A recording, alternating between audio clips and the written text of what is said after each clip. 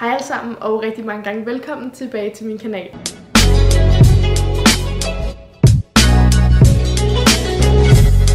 Så i dag der skal jeg lave en mega efterspurgt video. Jeg skal nemlig lave en hel video om alle mine tatoveringer. Og indtil videre der har jeg 14 tatoveringer. Så i den her video der vil jeg egentlig bare vise jer alle mine tatoveringer. Jeg vil forklare deres betydning og jeg vil fortælle hvor jeg har fået dem lavet. Og hvis de for eksempel er skrevet i en øh, skrifttype, så vil jeg også fortælle hvilken font jeg har brugt. Og jeg laver simpelthen den her video, fordi at jeg selv elsker at se sådan nogle her videoer, men også fordi at alle mine tatoveringer bliver generelt virkelig tit efterspurgt. Så får jeg lige et spørgsmål på den, og så får jeg et spørgsmål hvor jeg formulerede. Så jeg tænkte, at det ville være genialt at øh, samle det hele i en video, og øh, det er så det, som jeg kommer til at gøre i dag. Så jeg synes egentlig bare, at vi skal komme i gang med den her video. Sagt, så er jeg 19 år gammel, og øh, hvis vi lige skal sådan starte bare med lidt sådan tatoveringssnak, så øh, fik jeg først øjnene op for tatoveringer allerede sådan, eller da jeg var 16. Jeg ved godt, hvis der sidder voksne derude og ser med nu, så ved jeg, hvor det var ikke så gammelt. Men dengang jeg var under 16, der ville jeg ikke have nogen tatoveringer. Hverken min mor eller min far har haft tatoveringer, så sådan, jeg var slet ikke vant til det her med tatoveringer. Det var slet ikke noget, jeg gik og sådan så på hver dag, eller overhovedet havde sådan interesse for, eller vidste noget om. Men så da jeg var 16 år, så begyndte jeg så at finde ud af, hvem jeg var som person. Så kliché som det nu lyder. Og her der fik jeg faktisk øh, øjnene op for tatoveringer, og jeg havde været lidt inde på Pinterest og se sådan lidt bare forskellige sådan tatoveringsidéer og alt muligt. Jeg havde også sådan en mappe derinde, der hed tatoveringsidéer. Og den måde, jeg rigtig godt kan lide tatoveringer på, som også er totalt moderne, det er sådan nogle lidt uh, små forskellige tatoveringer, lidt sådan hist og pist på kroppen, som hver især har sådan en betydning. Det har for eksempel aldrig været mig at få en anden kæmpe tatovering op ad armen, eller sådan en sleeve, eller sådan en kæmpe en på ryggen. Det ved jeg, det er bare ikke lige min stil. Men nu vil jeg faktisk ikke snakke mere om det. Nu synes jeg faktisk bare, at vi skal gå til alle mine tatoveringer, og så vil jeg simpelthen gå slavisk igennem dem. Og jeg vil simpelthen starte fra den første tatovering, jeg fik, og så vil jeg gå kronologisk rækkefølge helt op til den seneste, jeg fik. Så ja, hvis vi starter med den allerførste. Den fik jeg, da jeg var 16. Og lovgivningen i Danmark er jo, at man ikke må få en tatovering, når man er under 18, medmindre at man har en særlig tilladelse af en forældre eller bave. Og jeg var altså 16 et halvt på det her tidspunkt, og jeg ville sygt gerne have en tatovering. Og jeg tror også lidt, den der rebel altid har ligget lidt i mig, så sådan, det fik jeg bare gjort, og jeg havde heller ikke sagt det til min mor eller noget. Og hvis I har set dokumentaren Følg mig på TV2, som jeg medvirkede i dengang, så fortæller jeg også, at jeg har fået lavet den her tatovering, og jeg viser den, og jeg siger sådan, at min mor ikke ved det endnu, fordi ja, I was that kid, siger jeg, og er 19, som om jeg ved, at jeg er voksen. det er bare nogle år senere. Og de tatoveringer, jeg fik, da jeg var 16, dem kommer jeg heller ikke til at fortælle, hvor jeg har fået lavet, fordi at jeg vil nødigt ødelægge nogens erhverv. Der er også kun to tatoveringer, men Stadigvæk. Så dem kommer jeg altså ikke til at sige, hvor jeg har fået lavet. Men de spurgte mig altså ikke om ID, og jeg tror, det er fordi, at de troede, at jeg var 18. Og så, ja, jeg opfordrer selvfølgelig ikke nogen 16-årige til at få lavet tatoveringer, fordi ifølge lovgivningen skal du være 18 eller få tilladelse. Men sådan er det bare. Jeg gad ikke stå og lyve og sige, at jeg var 18, da jeg fik den, for det var jeg ikke. Men den tatovering, jeg fik, det er en tatovering, hvor der står I will show you nede på min ankel. Og jeg vil nærmest sige, at det er en af de tatoveringer, som sådan der har allermest betydning for mig. Ikke nok med, at det var den første tatovering, så var den også rigtig gennemover overvejet. Og jeg fik den faktisk lavet hos en pige, dame, kvinde, der lavede dem sådan lidt sort op i sin lejlighed. Og øh, der står simpelthen I'll show you, fordi at det er en titel på en af Justin Biebers sange. Og som I måske ved, så har jeg altid været en ret stor Justin Bieber-fan. Jeg har været til to af hans koncerter. Ja, jeg har altid elsket hans musik. Og især albumet Purpose er mit yndlingsalbum. Jeg kan alle sange derfra. Hvis I har læst min bog, så ved I også, at jeg har været igennem nogle ting førhen i tiden. Der var meget sådan online chikane, men også i virkeligheden, og alt det her med at blive sådan et kendt ansigt, da man var meget lille, og lige pludselig vidste bare nærmest alle unge i Danmark, hvem du var, og havde en mening om dig, og dit navn blev taget fuldstændig ud af kontekst, og masse rygter blev skabt, og du kunne knap nok gå på gaden i København, for sådan var det engang. Så følte jeg bare, at den sang, han havde skrevet, den virkelig sådan ramte mig. Det handler nemlig også om det her bagsiden af at være et offentligt person og et kendt ansigt. Og øh, jeg har simpelthen fået den øh, skrevet ned på mit ben, fordi at øh, jeg...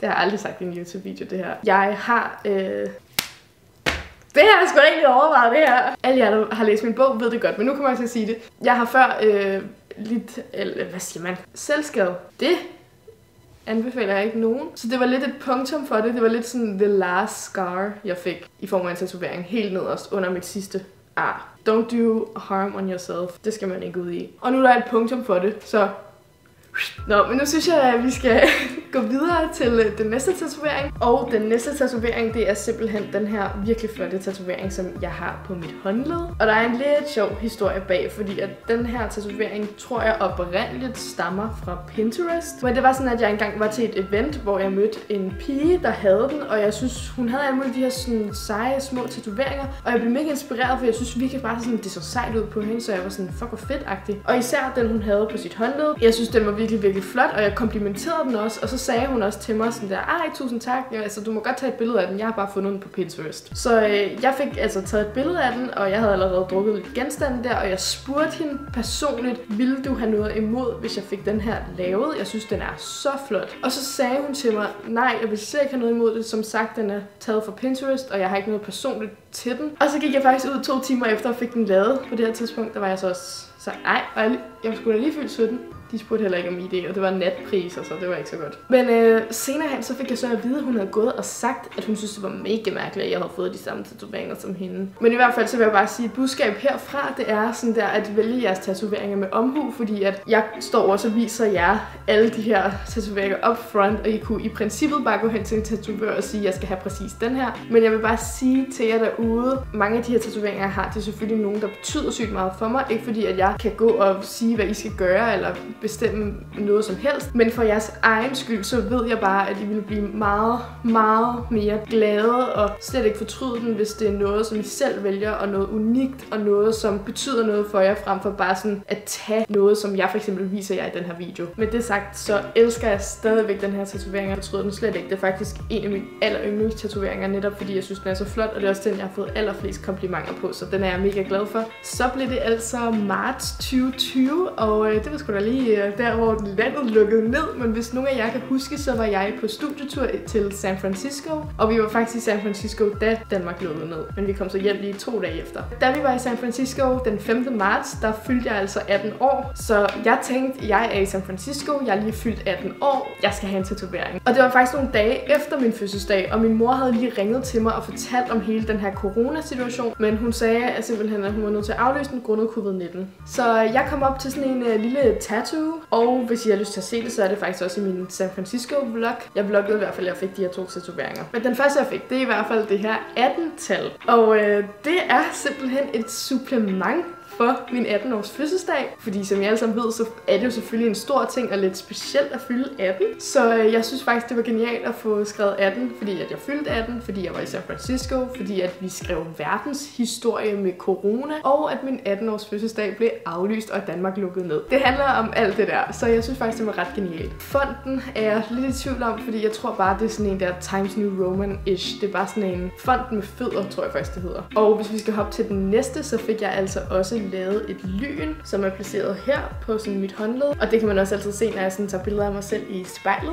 Det her lyn, det synes jeg bare var ret fedt, fordi jeg kan godt lide lyn-emojien. Det her lyn for mig, det symboliserer også det der med at være en fighter, og ikke give op, og bare sådan blive ved og tro på dine drømme, og sådan, du virkelig bare sådan, du skal bare vise folk, og du lyner bare igennem alle haters og alle dem, der siger, du ikke kan. Så det var sådan lidt det, som det her lyn betyder for mig. Og det var også bare ham der tatomanden, der lige tegnede et lyn. Så blev det sommerferien 2020, og øh, jeg gik og hele. Altså, det skal lige siges, når du får din første tatovering, så bliver du afhængig. Så det er sådan, du vil gerne have nyt, fordi at det giver dig et eller andet fedt adrenalin, et eller andet at få en ny tatovering. Så når du først starter, så er det lidt svært at stoppe. Jeg har mange gange undervejs sagt, det var min sidste, og så er jeg bare blevet ved. Men den næste tatovering, jeg altså fik, den fik jeg hos min tattoo pusher, Johnson Tattoo. Han hedder Victor, ham der laver min tatoveringer faktisk. Og øh, jeg er nødt til lige at sige reklame her, fordi at de her tatoveringer, dem laver jeg sådan lidt i samarbejde med ham. Det vil sige, at øh, jeg får dem gratis. Så det er en lille deal, jeg har lavet med ham. Så faktisk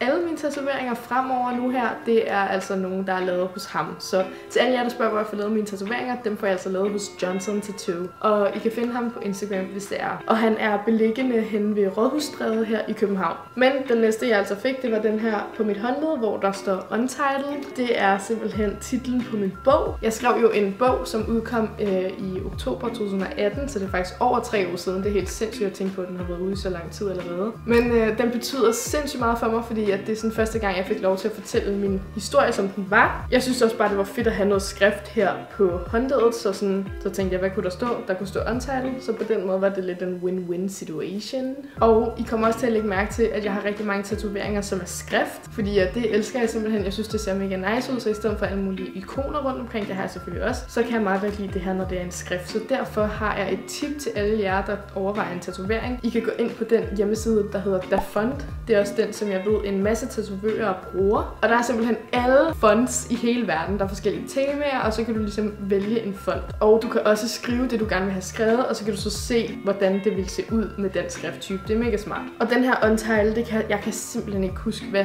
skrift det var, vi brugte. Men jeg kan huske, at vi gik ind under DaFont, og så gik vi ind under Basic. Og der er der bare en masse Basic, fordi det skulle bare være sådan en, det skulle bare stå med blokbogstaver på en helt sådan der basic måde. Så øh, ja, jeg kan ikke huske fontnavnet, men det er totalt basic, som jeg også kan se.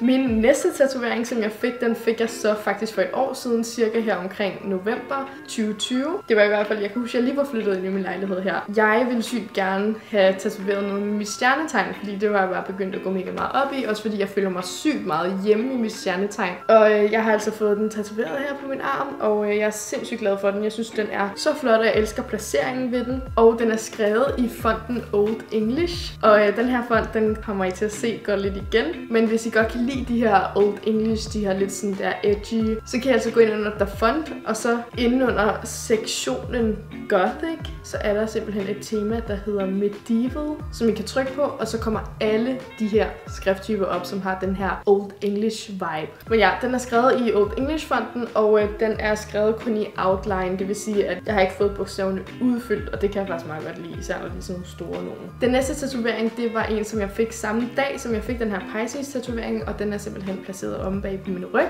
Den er placeret på min højre skulder-ish, lidt nede på ryggen, fordi at jeg kunne meget godt lide, at den var lidt sådan hen i siden, og øh, det er simpelthen det eneste, jeg har på ryggen. Jeg synes, det er så flot, især når man har sådan nogle her toppe på, for eksempel, hvor at der er åben ryg. Og den her, det er nok den, jeg har fået allerflest spørgsmål på. Jeg tror, det er, fordi folk ikke rigtig kan læse, hvad det er, der står. Men der står altså Just Remember, og det er simpelthen en sød og rar reminder på Just Remember who the fuck you are. Jeg tror bare, at nogle gange så er det en god idé at sådan blive reminded. Husk på, hvem du er. Husk på alt det, som du kan, og hvor stærk du er, og så videre. Så ja, det er altså den betydning, der er bag den tatovering. Også igen inde på Dafon, så kan I altså gå ind under den sektion, der hedder Handwritten, som ligesom er de her lidt skråskrifter og håndskrevede skrifttyper. Og den skrifttype, som den her, jeg har om bag på ryggen, er skrevet i, det er Retro Signature. Så blev det, der gik i hvert fald ret lang tid, et halvt år eller sådan noget, det blev sommer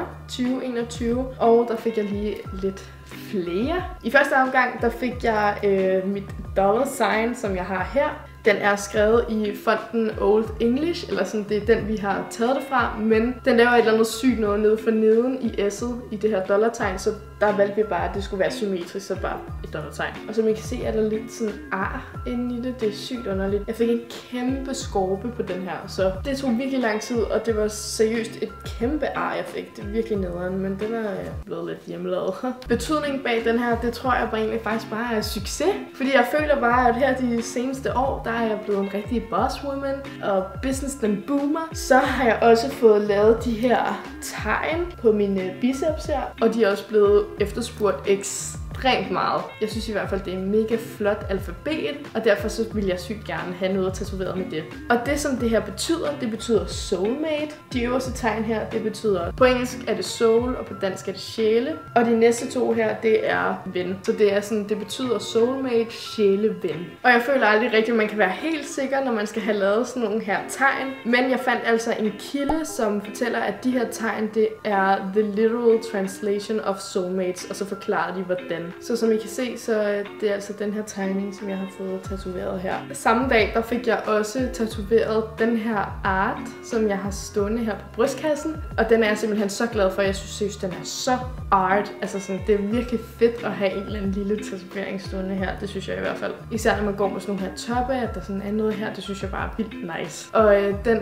fik jeg faktisk bare fordi, at det synes jeg kunne være sejt. Eller sådan, jeg tænkte sådan, jeg vil gerne have et eller andet lige her foran. Og så art, det var, det var kun kunst, du ved, det kan jeg godt lide. Så derfor fik jeg den her skrevet her. Og den er også skrevet i Old English skrifttypen. Men ja, den elsker jeg seriøst. Jeg synes, den er så sej, den er så stilet. Så blev det slutningen af sommerferien, og øh, jeg fik altså lavet nogle nye igen, fordi jeg simpelthen ikke for nok. Den første, jeg fik lavet, det var den her mor-tatovering, som er her sådan en rigtig gammeldags øh, havnearbejder mor-tatovering. Og det er fordi, at jeg bare øh, elsker min mor, og jeg synes, hun er så sød, så jeg ville godt have lavet et eller andet til hende. Men det var også fordi, at jeg på Pinterest havde set en have den her tatovering. Hun var bare fra Storbritannien, så der stod mom. Og så tænkte jeg bare, at det kunne være sådan lidt dansk at skrive mor. Det var min tatovør, der ligesom tegnede den her hjerte med pil indeni. Og selve skrifttypen, det er den skrifttype, der hedder Please Write Me a Song. Så der står bare øh, mor. Og hvis vi skal gå videre, så har jeg også en tatovering her omme bag på min arm. Og det symboliserer altså universet, fordi at jeg har begyndt at tro meget på universet og universet universets kræfter. Så det er lidt øh,